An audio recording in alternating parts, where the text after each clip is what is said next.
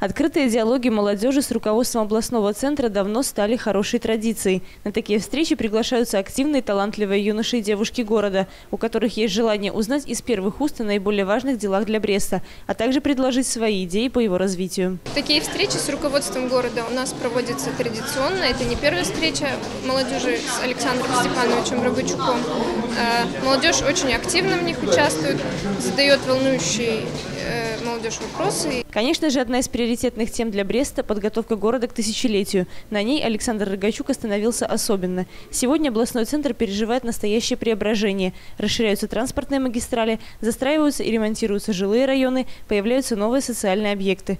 Задача – сделать город таким, чтобы он был интересен и людям постарше, и молодежи. А потому очень важно время от времени сверять часы и говорить о планах и перспективах. Я думаю, что абсолютно разумно учитывать потенциал молодежи города Бреста в социально-экономическом развитии нашего э, дорогого города.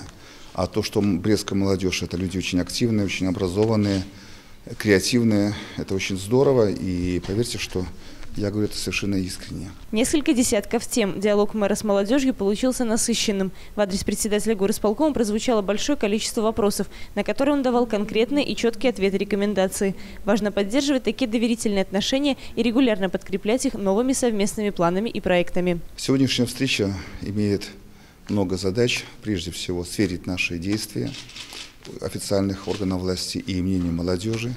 В какой-то мере выслушать молодежь что мы, возможно, упустили еще из направления нашей деятельности, ну и, соответственно, довести наши действия органов власти до молодежи, соответственно, они уже дальше через свои социальные сети, через свои личные контакты расскажут своим друзьям и знакомым. Анастасия Ноздрин, Плотницкий, Андрей Щерба, Дмитрий Лазарчук, телекомпания «Бук-ТВ».